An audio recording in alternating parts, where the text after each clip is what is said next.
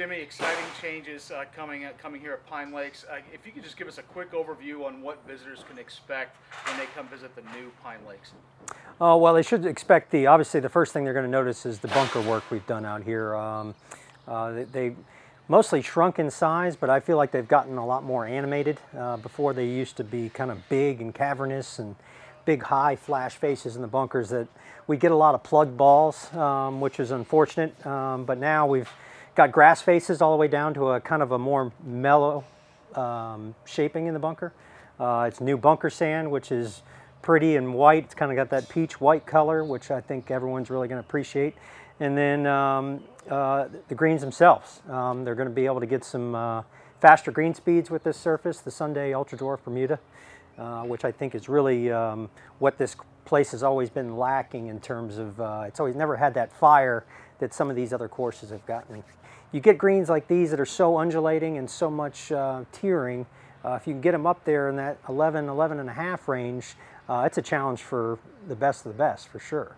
If you could name some uh, off the top of your head some holes in particular that really stand out to you in terms of the biggest difference in the, bun- in the bunker reconfigurations, which of those holes would they be? Well, the first one for me would be number five. Number five was always a very large bunker. It still is very large, but um, they put a nice little feature right towards the middle of it, kind of a kind of a hand, so to speak, a couple little fingers, uh, which is two things. It's for that shot that does come up short.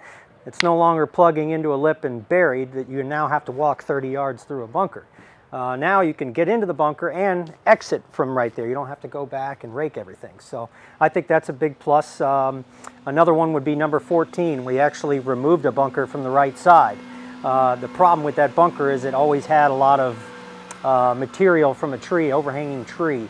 Uh, so it was always kind of full with stuff.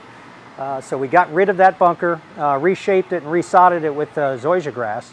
And um, I think that's, it's definitely a catcher's mitt because it's on the right side of a hole. Nine out of 10 golfers miss everything to the right. So now it's going to be a, a little bit easier up and down. And uh, we've actually did, we did take a limb off that tree. So we'll be able to get some sunlight in there and keep that grass growing. But that's a big one. And uh, we also put a little pot bunker there that wasn't there before. And we, we still haven't named that bunker yet, but it's going to have a creative name, I'm sure, by opening day. I'm a longtime visitor of Pine Lakes, and I'm coming here for the first time since the renovation.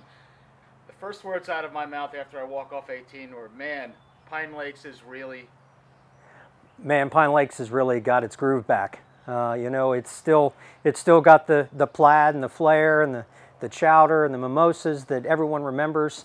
Um, but it's, uh, I feel like it's, we eliminated the two biggest knocks that we had on the course, and that was the greens and the bunkers, and now we've got them both. So there is no more, um, there's no more you can do out here to make this course any better. It's perfect right now.